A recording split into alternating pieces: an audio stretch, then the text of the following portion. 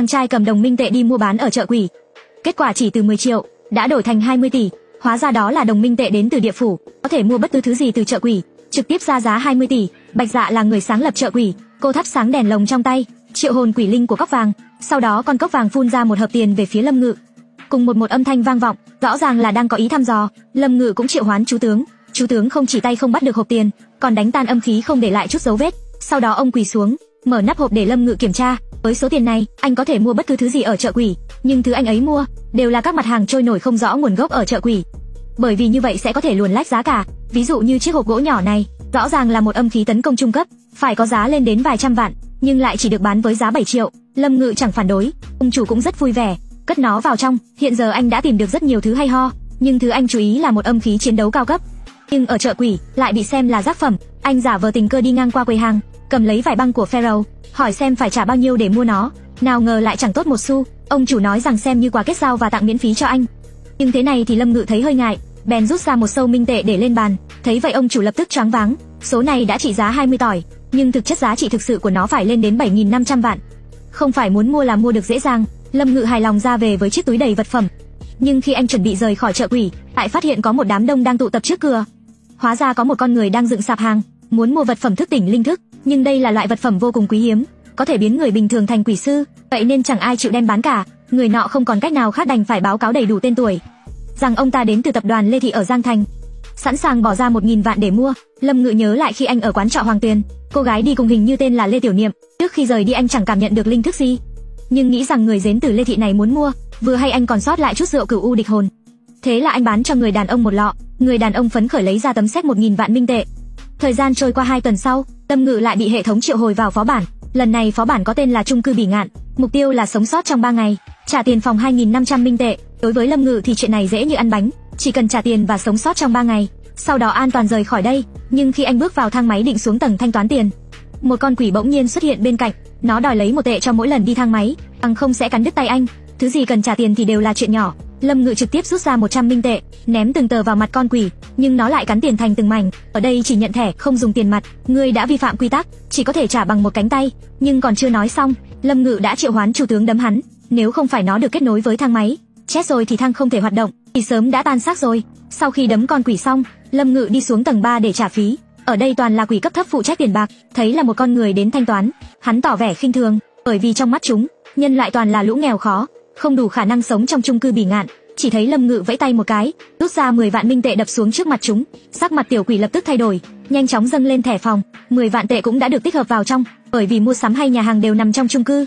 Chỉ cần quẹt thẻ là được, Lâm Ngự vốn định đi mua sắm vài thứ, đúng lúc này anh bắt gặp một người bình thường khác, người nọ vừa từ cầu thang đi ra, bấy giờ có một con quỷ đang quấn chặt cánh tay anh ta, ít nhất cũng phải ở cấp 4 trở lên. Người đàn ông lấy một miếng thịt cho nó ăn, cánh tay lập tức trở lại bình thường, nhưng vẫn có rất nhiều vết sẹo bên trên, có vẻ như ông vừa trải qua một trận chiến ác liệt.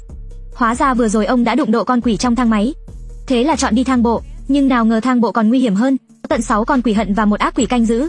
Ông nhắc nhở Lâm Ngự không nên đi thang bộ, Lâm Ngự thấy ông là người tốt, định trả tiền phòng cho ông, nào ngờ người đàn ông lấy ra một nắm đồng tiền minh tệ. Anh vừa nhìn liền nhận ra ngay, đó là số tiền anh đã trả ở chợ quỷ, Hóa ra người đàn ông này là người đã bán băng vải Pharaoh cho anh. Vì ở chợ quỷ ai cũng đeo mặt nên không nhận ra.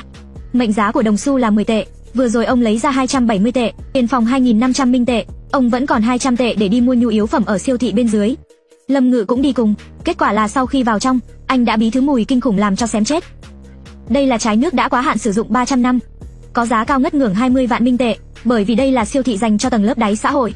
Người thường muốn sống sót thì không còn cách nào khác, không chỉ nước suối, ngay cả bánh mì cũng mốc meo và vài cuộn giấy vệ sinh đánh nhám. Lâm Ngự không mua gì cả, bởi vì anh nghe nói trên tầng có siêu thị dành cho hội viên. Nhưng vừa đi đến, nhân viên đã chặn anh lại, các siêu thị hội viên yêu cầu phải nạp vào một vạn để vào trong. Họ chắc chắn rằng một người bình thường như anh sẽ không có nhiều tiền như vậy. Kết quả là Lâm Ngự rút tấm thẻ trị giá 10 vạn minh tệ ra, dọa cho hai người sợ hãi tránh đường. Mặt hàng trong siêu thị hội viên khác hoàn toàn với siêu thị ở tầng dưới. Không chỉ có trái cây tươi, còn có thích của quỷ linh. Lâm Ngự bắt đầu mua sắm như điên, chọn những thứ gì đắt nhất ở đây, bình rượu trị giá một vạn tệ, bình giấm trị giá tám ngàn tệ, bởi vì hệ thống lại đưa ra nhiệm vụ mới, hoàn thành 3 lần mua hàng trị giá 10 vạn minh tệ. Kết quả với một xe đầy đồ chỉ tiêu tốn 6 vạn tệ. Anh không khỏi phàn nàn đồ ở đây rẻ quá, nào ngờ lời này bị quản lý siêu thị nghe thấy, đề nghị anh lên nhà hàng trên tầng cao nhất, đó là thiên đường mua sắm của các phú quỷ, tuy nhiên chỉ có hội viên và giám đốc chung cư Bỉ Ngạn mới được lên. muốn trở thành hội viên, phải đóng 15 vạn minh tệ, ngoài ra còn phải đáp ứng một trong ba điều kiện sau. Thứ nhất là phải có đóng góp đáng kể cho chung cư Bỉ Ngạn. Thứ hai là được một nửa số phiếu ủng của các hội viên. Thứ ba là được hội đồng quản trị đề cử. Ba điều kiện này cái nào cũng rất khó thực hiện, nhưng Lâm Ngự lại nảy ra một ý, anh đến gặp quản lý bất động sản ở tầng 3, rút ra một sấp tiền, yêu cầu trở thành hội viên của chung cư Bỉ Ngạn. Quản lý bất động sản tỏ vẻ khinh bỉ, chỉ với sấp tiền mỏng như vậy, sao có thể làm hội viên được? Nhưng khi Lâm Ngự ném sấp tiền lên không trung, bà ta nhìn thấy trên đó trị giá 10 vạn minh tệ. Lập tức xin lỗi Lâm Ngự, bởi vì những tờ tiền trị giá 10 vạn minh tệ ở đây rất hiếm, chỉ một số người có sức ảnh hưởng lớn mới sử dụng được. Bà đoán Lâm Ngự đến từ quỷ giới thâm xứ, nên không dám tùy tiện quyết định, thế là mời giám đốc đích thân đến xem xét. Giám đốc nhận tiền từ tay quản lý, sau khi xác nhận đúng là tiền thật, mắt ông cũng sắp lòi ra ngoài, xem ra Lâm Ngự là nhân vật lớn, không nên đắc tội. Thế là ông lấy thẻ hội viên ra, cung kính đưa cho Lâm Ngự, đồng thời nâng cấp phòng của anh lên phòng thượng hạng ở tầng 26. Lâm Ngự vẫn chưa hài lòng, 150 vạn là mua được thẻ hội viên, vậy ghế giám đốc thì tốn bao nhiêu? Giám đốc nghe vậy thì từ chối ngay tắp lự, bởi vì hội viên có đến hàng trăm, nhưng ban giám đốc chỉ có 13 ghế, muốn trở thành giám đốc phải trải qua bài kiểm tra rất nghiêm ngặt. Lâm Ngự nghe vậy thì rút ra một sấp tiền trị giá 10 vạn minh tệ. Hỏi phải trải qua bao nhiêu bài kiểm tra, giám đốc vô cùng xúc động, nhưng họ vẫn cần thảo luận một chút. Sau đó Lâm Ngự quay về phòng ở tầng 12, mấy món anh mua ở siêu thị đã đặt sẵn trước cửa. cần Phải chuyển lên phòng thượng hạng, nhưng khi anh vừa ra khỏi thang máy, ba con tiểu quỷ đã mau chóng cuỗm đi mất, chạy thẳng vào cầu thang bộ gần đó. Đó là một góc khuất của máy quay giám sát, có rất nhiều quỷ quái sống ở đấy. Khách hàng thông thường chắc chắn không dám đi vào.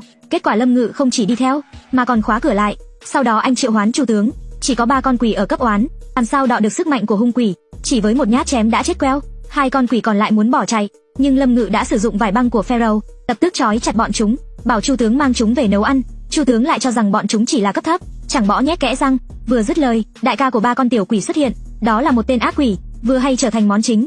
Sau khi giải quyết ác quỷ, Lâm Ngự không đi thang máy, mà dùng thang bộ lên phòng thượng hạng. Trên đường đi anh gặp không ít con quỷ, nhưng chúng rất sợ chủ tướng nên rút vào một góc run rẩy. Phòng thượng hạng và căn hộ ở tầng dưới, hoàn toàn là hai thế giới hoàn toàn khác biệt, không chỉ có phòng khách sang trọng, còn có cửa sổ bằng kính rất lớn, có thể nhìn thấy cảnh vật bên ngoài, bầu trời đỏ như máu. Ma quỷ Lan Bạc đang kêu khóc thảm thiết dưới đất, giờ anh đã hiểu vì sao giá cả ở chung cư Bỉ Ngạn lại đắt đến vậy. Có rất nhiều ma quỷ muốn sống ở đây, so với nơi này thì bên ngoài chẳng khác gì địa ngục. Sau khi cảm thán, chủ tướng đã sử dụng thịt quỷ để nấu một bàn thức ăn thịnh soạn, không chỉ ăn rất ngon, nó còn có thể tăng cường linh lực. Sau khi ăn xong, linh thức của Lâm Ngự tăng lên 47, linh lực tăng lên 486, chỉ còn thiếu chút nữa là thăng lên cấp 2. Lâm Ngự định đi xuống siêu thị dưới lầu mua thêm chút thịt quỷ. Nhưng lúc này có một nữ quỷ chặn anh lại, hóa ra cô chính là thư ký của giám đốc thứ năm. Đặc biệt đến đây mời anh lên tầng thượng dự tiệc, có vẻ trở thành hội viên chung cư đúng là một quyết định sáng suốt.